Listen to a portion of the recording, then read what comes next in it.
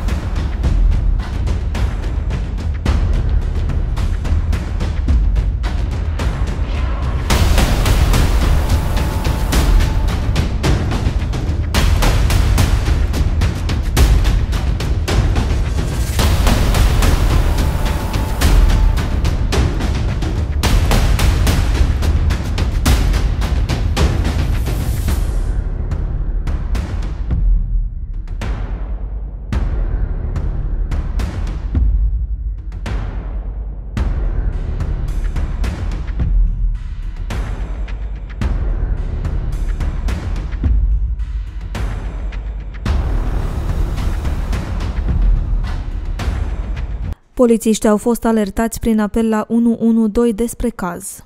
La data de 16 septembrie anul curent, Poliția Municipiului Pașcane a fost sezizată prin apel unic de urgență 112 despre faptul că mai multe persoane au pătruns într-o curte din comuna Hărmănești, ar fi lovit un bărbat și ar fi distrus o poartă de acces.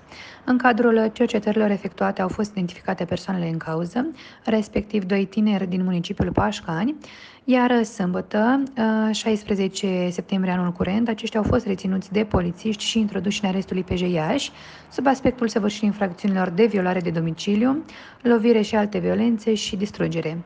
La data de 17 septembrie anul curent, cei doi au fost prezentați parchetului de pe lângă judecătoria Pașcani, care a dispus luarea măsurii controlului judiciar față de aceștia pentru 60 de zile. Cercetările continuă. Potrivit unor surse neoficiale, unii dintre agresori ar fi persoane recidiviste, având mai multe dosare în instanțele de judecată.